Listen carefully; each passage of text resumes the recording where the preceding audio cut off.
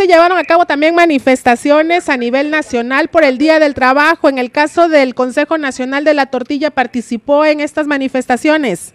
Pues ahí fuimos invitados ahí por algunas, algunas agrupaciones que han estado viendo eh, problemas en generales como reformas y todo eso y, y nosotros participamos un poquito en lo que es la situación alimentaria porque que es preocupante, ya tenemos algún tiempo trabajando en que se pueda y se deba, se tenga que blindar los alimentos en, en, la República, en, en, la nación, como en, en, especial lo que es el maíz. eh, el maíz desgraciadamente no está blindado, eh, así que cualquiera puede llegar, puede llevarse las toneladas que se quieran de, de este país y dejarnos sin nada, ¿verdad? Entonces hemos pedido, por ahí tuve una, una reunión con unos senadores y unos diputados federales para exigirles esta situación. Vamos a tener una reunión el martes, primero Dios, pero sí es muy grave porque eh, ahorita ya hay unas, unos extranjeros, por ejemplo, me tocó ver a unos chinos que, que de entrada se llevaron como cuatro mil toneladas de maíz y que para ellos en dinero no es nada.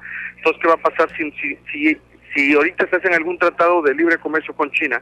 ¿Qué es lo que va a pasar? Que ellos van a poder llevar todos los alimentos que quieran y nos van a dejar un estado de, de defensión. Y al momento en que, por ejemplo, se empieza a vender a particulares extranjeros, pues el maíz está ahorita muy barato, está entre 3.25 y hasta 4 pesos, muy barato, ¿eh? Este, en comparación con otros años. Pero ¿qué va a pasar, por ejemplo? Que si se llevan parte de todo el maíz, o por si, si, si se le está vendiendo a, a, a, empresas extranjeras o particulares extranjeros, uh -huh.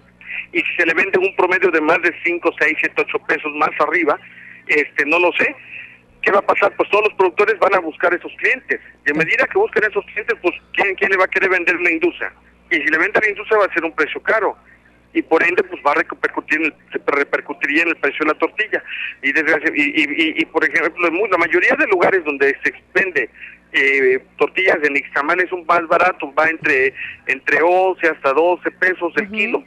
En otros lugares, por ejemplo, desgraciadamente, como no se, no se, no se, no existen bancos o casas de granos en los cuales tú puedas eh, industrial, por ejemplo, en el caso de Tabasco, este, y parte del sur, eh, el centro de Veracruz, sureste, ¿qué va a pasar? Como no hay tanto maíz, pues la gente se tiene que obligar a, vender este, tortillas de harina, que sabemos que, que pues no tiene las mismas bondades de, de trabajar el maíz de Nixtamal y pero también es algo muy caro, ¿verdad? Que es algo que también estamos viendo.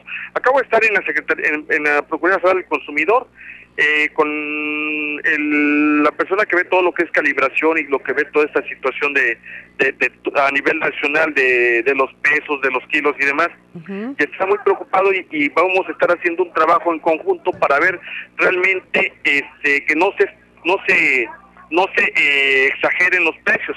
Yo le decía, oye, pero nosotros normalmente puedes checar y puedes ver que los costos de producción son muy altos y dependiendo en cada estado de la República. Y me dice, este, es que las harineras dicen que, que están baratas, no es cierto.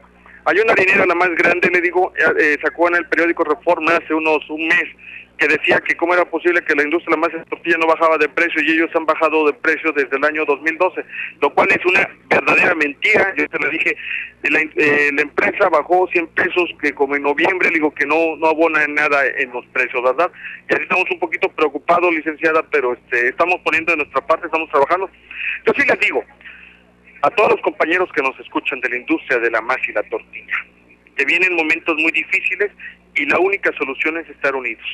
Si nosotros no defendemos la industria de la masa y la tortilla en los próximos meses o años, estamos, esta, esta industria en pocos años va a dejar de ser de, de, nosotros. Eso sí, eso sí se los digo, ¿eh? Claro. Es irreverente que, que mucha gente se, se, se agrupa, se preocupa y el industrial de la masa y la tortilla no desgraciadamente. Y sí, eso me queda muy claro. Si nosotros no hacemos políticas públicas y exigimos, la industria de la masa y la tortilla no se va a acabar, pero de nosotros ya no va a ser. ¿Qué implicaría blindar el maíz?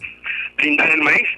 Mira, China hace lo siguiente. En China no entra un solo grano de arroz si no se si no se consume todo lo que se produce, pero tampoco sale si no se si no se este ¿cómo se llama? Si no se proporciona todo lo que va a ocupar eh, la República de China.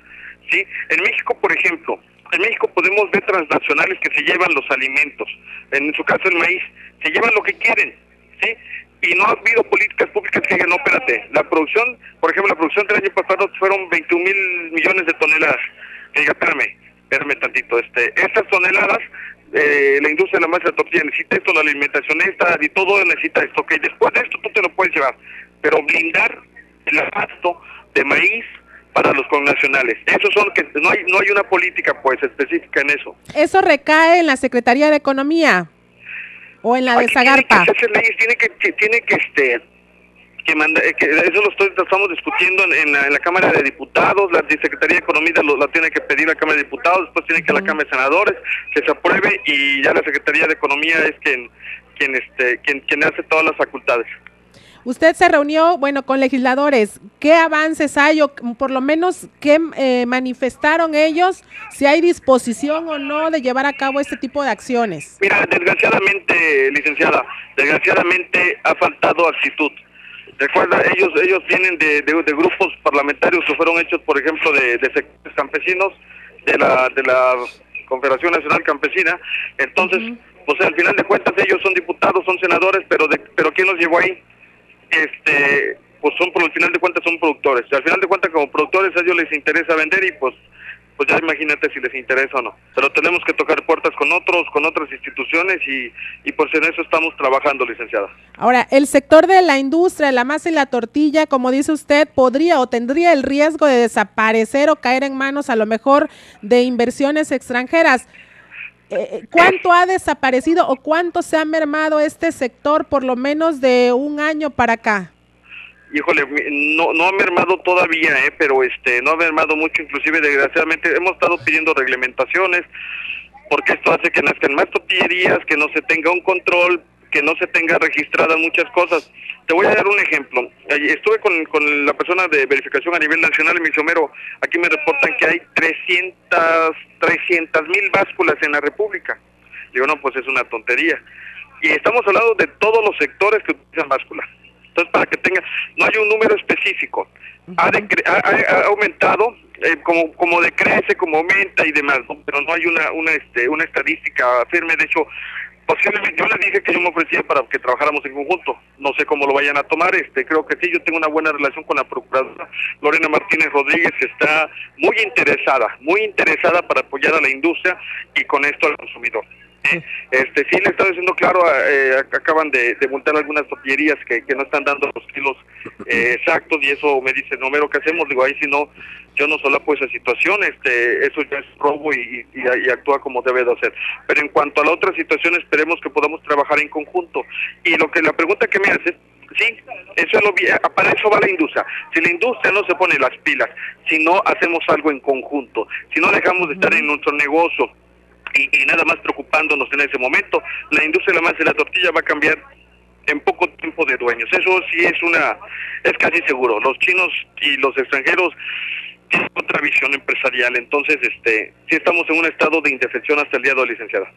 Aquí en Tabasco, a lo mejor ya tuvo alguna reunión con los industriales tabasqueños para ver que, en qué están trabajando, si se están agrupando, si no hay división, etcétera pues este yo en un, rato me voy a conectar con, con por ahí con, el líder Raúl que, es una persona que, admiro mucho porque muchos industriales no tienen idea de lo desgastante que es eh, en tanto económico, moral, físicamente. Eh, te voy a comentar algo, todos los que hacemos algo por la industria, nosotros mismos este, sufragamos esos gastos. ¿eh? Este, a los industriales un poco se le pide cuota o casi nada, nunca y, este, y quieren que uno le resuelva todo, también eso es injusto, ¿ah? Por eso te digo, ese es un llamado para toda la industria de la masa y la tortilla. O se acercan con sus líderes y sus líderes que nos hablen a nosotros que estamos trabajando de hace años en conjunto, ¿sí? O créanme que se van a ir despidiendo de sus negocios, o que le busquen cómo hacerle porque la situación viene muy difícil. Eso sí, eso sí lo puedo este, asegurarle